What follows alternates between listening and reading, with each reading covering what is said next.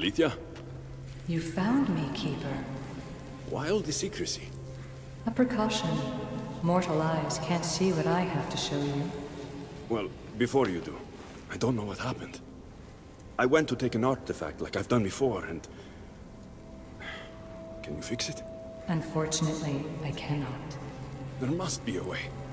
My, my grandfather's spear. Is most likely useless.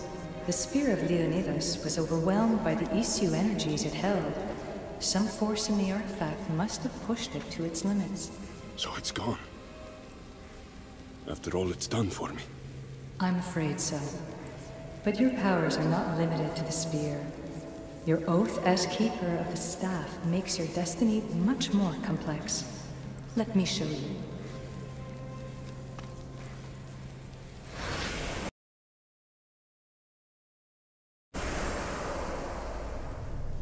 What am I looking at exactly?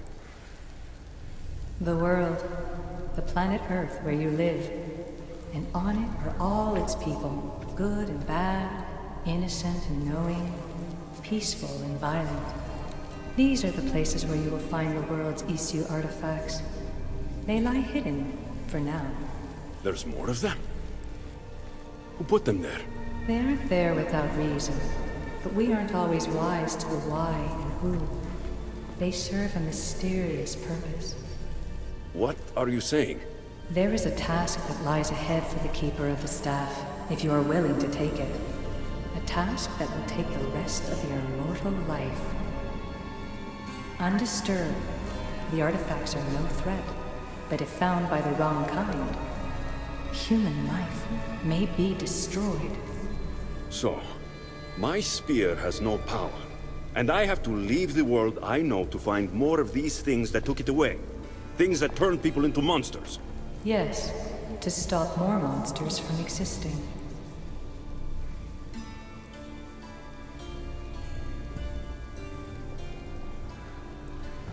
You're asking me to leave my home. To leave everyone I love.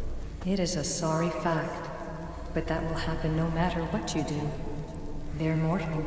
One day, they will die. Look, I came to you to have my spear fixed.